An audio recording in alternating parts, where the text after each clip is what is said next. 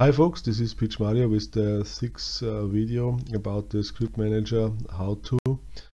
Uh, I just had a closer look at the last video and I saw two elements which need further explanation. The first one is this uh, create filter macro, yeah, I think, and the second one is this uh, list uh, this list filter element, the get link, where we use the list widget to create the uh, if then else uh, branch. So first let's have a closer look at the create filter. Working with TiddlyWikis, uh, filter mechanism can be a little bit tricky. Uh, but the easiest way I found is working with the advanced search. Yeah, the advanced search has this filter tab. Um, there is also already some examples that you can that you can check out whatever you want. Uh, what we want now, we want filters for to do and done. So the easy filter for me is tag to do, which gives me all three tiddlers which have the to do tag. Yeah? And if we have a closer look at tiddlywiki.com and if we search for uh, filter operators, we get a list of all the possible filter operators. Then there is the tag then there are tag examples. Then we have tag task, which is like tag to do.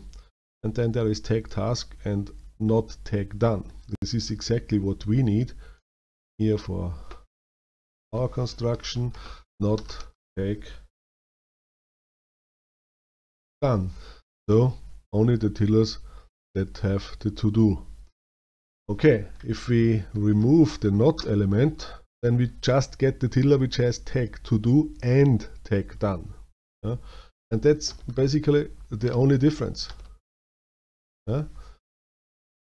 yeah, and the code here is exactly that. Yeah? Uh, it just removes every tiddler which has uh, the, the, the, element draft off, um, then checks, oops, sorry, then it checks for the tag to do and for the tag done. Yeah? And there is a dynamic variable which is the not prefix. Yeah? So, and that's exactly uh, how the filter is created, and then there is some sort by created. Yeah? Um, where does the prefix come from? The prefix comes from checklist. So it searches for to do and the prefix not to do and prefix not. So it gives us all the active to dos. Yeah? And the checklist done just checks to do and no prefix, which gives us the BB. Yeah. So yeah, that's basically um, everything uh, what happens here. Yeah?